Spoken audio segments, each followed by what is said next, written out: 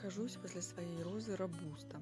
Робуста – прекраснейшая роза, которая украсит любой сад, любой парк, послужит живой изгородью.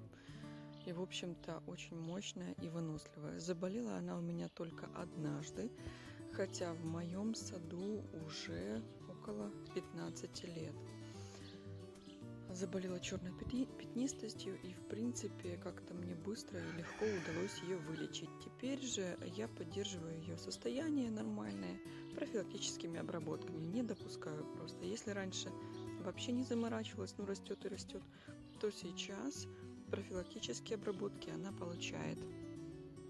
Ну и хочу сказать э, на примере робусты про пользу плантофола. Плантофол – это удобрение, которое дается по листу. Я использовала э, плантофол с формулой 10-54-10. А, что я заметила? Если раньше цветочки моей робусты были максимум сантиметров по 7, то сейчас есть такие цветочки, которые даже около 9 сантиметров. Вот сейчас взяла линеечку. Цветочек, правда, закрылся.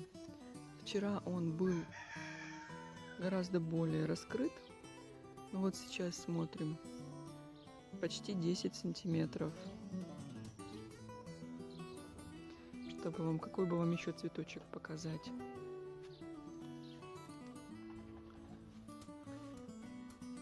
Этот там, где там край него? 8 практически. То есть, что хочу сказать. Плантофол работает. Не жалейте для своих роз, не жалейте, извините, для своих роз а, купить какой-то препарат. Тем более сейчас он продается а, в мелкой фасовке. Хоть и дорогой плантофол итальянского производства, но тем не менее в мелкой фасовке можно найти и помочь своим розам иметь вот такое шикарное цветение. Будут рады и ваши розы, и вы, поверьте. Кстати, по робусте. Робуста обрабатывается постоянно у меня от тли, но тля ее так любит, что ну просто сил не хватает. Иногда уже даже просто бросаю и все. Вчера опять была обработка. Ну, как видим, остатки тли есть, но они уже не живые. В общем, вот такие дела, вот такая прекрасная роза.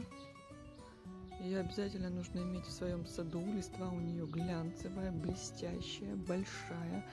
Роза практически ничего на себя не цепляет. Говорю, э, опять за 15 лет только один раз схватила черную пятнистость. А, розу можно отнести к розам глазастикам. Конечно, глазок у нее нету, то есть вот здесь нет никаких опять э, пятнышек. Но роза хоть и пустая, тем не менее очень эффектная. Цвет не красный, цвет, как говорят, винно красный или винно-розовый. Но этот цвет невозможно описать одним словом. В общем, на этой позитивной ноте заканчиваю. Плантофолом пользуйтесь, кто сомневался. Берите для пробы в мелкой фасовке. Вот. На этом все. Всем пышного цветения роз. До свидания.